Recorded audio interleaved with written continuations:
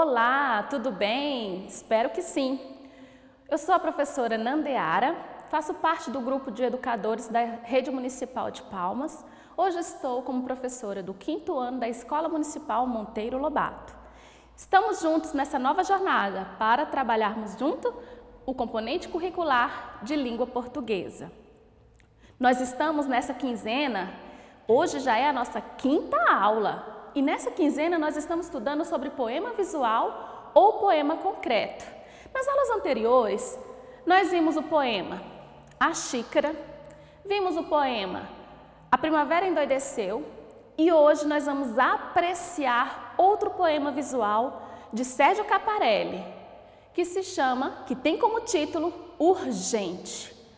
Quando você pega um texto para ler e o título é Urgente, o que você pensa? Que, que você acha que vai contar naquele texto? Será que é uma pessoa pedindo socorro? Será que é uma notícia que precisa ser repassada para as pessoas? O que, que você acha? Vamos descobrir juntos? Vamos observar o poema visual. Quando você olha para ele, que imagem você consegue observar? Será que é uma árvore? Uma pessoa de braços abertos? Quem você acha que é? Pensa um pouquinho. Eu acho que concordam comigo. É uma pessoa de braços abertos? Isso mesmo. É um homem de braço aberto, ou uma mulher, uma pessoa com os braços abertos. E o título do poema, Urgente. Será o que, que vai falar nesse poema? Vamos descobrir junto comigo? Ouça com atenção a leitura que eu vou fazer. Urgente. Uma gota de orvalho caiu hoje às oito horas do dedo anular direito do Cristo Redentor, no Rio de Janeiro. Seus restos não foram encontrados.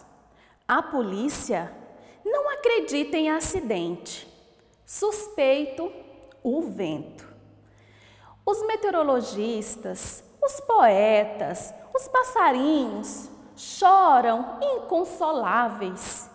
Testemunha presenciou a queda. Horrível. Ela se evaporou na metade do caminho. Sérgio Caparelli.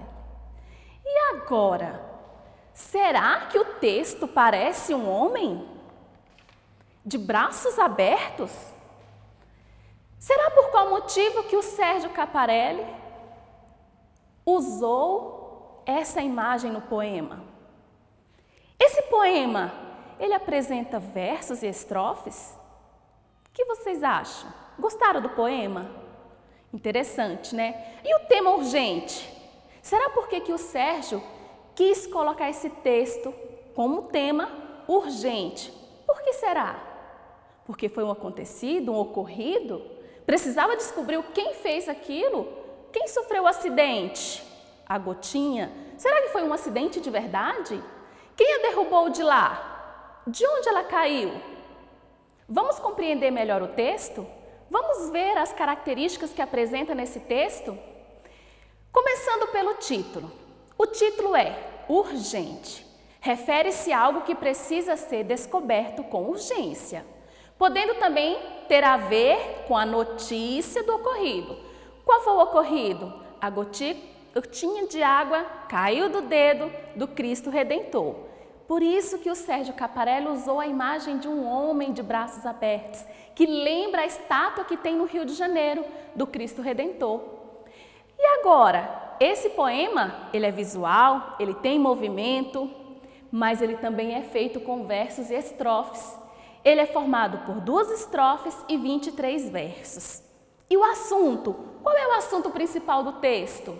Uma gota de água que cai do Cristo Redentor.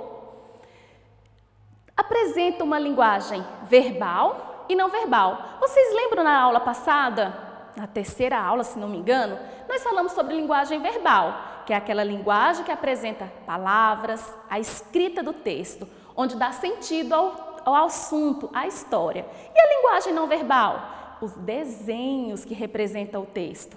Então, nesse poema também tem a linguagem verbal e não verbal. As palavras que formam o texto, dando sentido, é a linguagem verbal. A linguagem não verbal é o desenho do Cristo Redentor, que foi criado para dar uma organização feita pelas palavras. Quem é o suspeito? Quem lembra qual é o suspeito? Quem foi? O vento. Será que está certo? Será que o vento foi o suspeito? Foi isso mesmo que aconteceu? Agora nós vamos fazer uma análise linguística das palavras do texto. Na aula passada, nós estudamos sobre sílaba, sílaba tônica, forma, é, classificação das sílabas, quanto ao número de sílaba, lembram? Já comentei isso hoje. Então, nós vamos pegar algumas palavras do texto, vamos fazer essa análise sobre a sílaba tônica, quantidade de sílabas que tem na palavras. Vamos lá? Gota. Aparece a palavra gota lá no poema. Gota, quantas sílabas tem? Duas. Gota. Duas sílabas. Então, ela é classificada como dissílaba. E qual é a sílaba tônica? Quem lembra a dica que eu dei? Vamos chamar essa palavra para a gente descobrir qual é a sílaba tônica? Gota. Qual é a sílaba tônica? O gó. Então, essa palavra é uma paroxítona. Outra palavra que aparece no poema, orvalho. Quantas sílabas tem? Orvalho. Três sílabas. Então, ela é uma palavra trissílaba. Muito bem. Vamos descobrir agora qual é a sílaba tônica? Orvalho.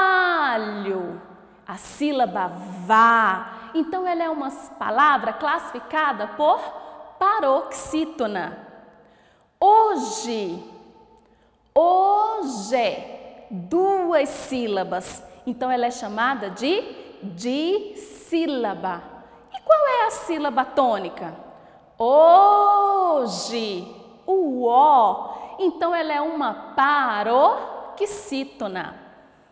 Polícia. Polícia. Polícia. Quatro sílabas. Qual é a sílaba tônica? Polícia. O li. Se ela tem quatro sílabas, ela é chamada de polissílaba. Se o li é a antepenúltima sílaba, é a pronunciada com mais intensidade, ela é chamada de proparoxítona. Anular. Vocês sabem o que é anular? Lá quando ele fala o dedinho anular, é aquele dedinho menor, né? O último dedinho. Então, na palavra anular, quantas sílabas tem? A, nu, lar três sílabas. Então ela é chamada de trissílaba. Muito bem. E a sílaba tônica? Anular. A última sílaba é a sílaba tônica. Então ela é chamada de oxítona. E mais uma palavrinha. Encontrados. Vamos descobrir primeiro quantas sílabas. Em, com, dos Quatro sílabas. Então, ela é chamada de polissílaba. E qual é a sílaba tônica? Encontrados. O tra é a sílaba tônica. Então, ela é classificada como paroxítona. Mais uma palavrinha. Horrível. Hum, vamos separar primeiro? horrível. Três sílabas. Então, ela é classificada de trissílaba. Muito bem. E qual é a sílaba tônica? Essa tá fácil. Tem um acento. É a última ou a penúltima? A penúltima. Então, ela é chamada de paroxítona.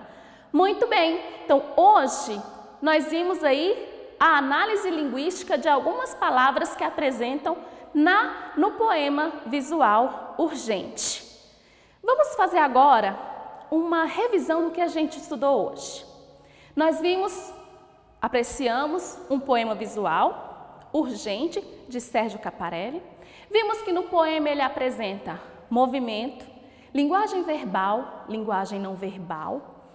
O movimento é as letras da maneira que é colocada no poema.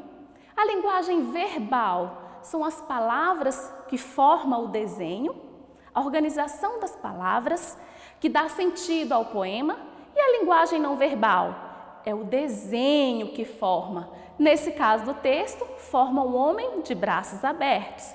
Então nós vimos aí, apreciamos mais um poema de Sérgio Caparelli, que é urgente, vimos as características desse poema e também revisamos as sílabas tônicas da palavra. Vimos sílaba, palavras com número de sílaba, monossílaba, dissílaba, trissílaba e polissílaba. Vimos também a classificação quanto à sílaba tônica, oxítona, paroxítona e proparoxítona. Essa foi a nossa aula de hoje, apreciando mais um poema e revendo as sílabas tônicas de uma palavra. Espero que tenham gostado da nossa aula. Aguardo vocês na próxima aula. Recadinho, não esqueçam, todas as nossas atividades e as nossas aulas estão disponíveis na plataforma Palma Homeschool. Bom estudo a todos, aproveite, pesquise e até a próxima aula. Um grande abraço!